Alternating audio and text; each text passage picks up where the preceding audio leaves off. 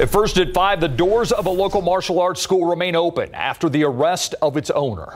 The owner stands accused of sexually assaulting a 14 year old girl. But as Katrina Webber shows us, the parents of the other students, meanwhile, are keeping their mouths closed.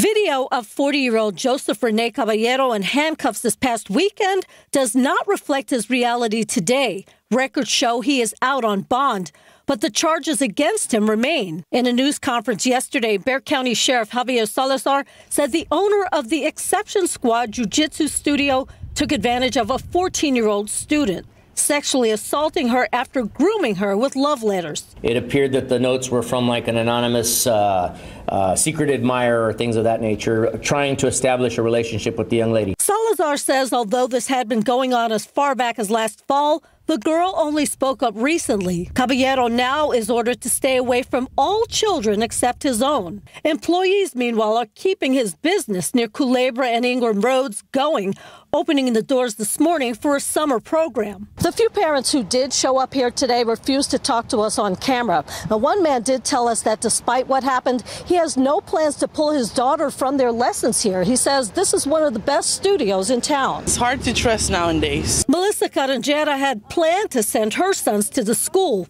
Now she's not so sure. That hurts me. Deep inside, it hurts me more than anything because, I mean, even though it's not my daughter, that affects me as a parent. Sheriff's investigators worry there could be other children who have been affected by Caballero.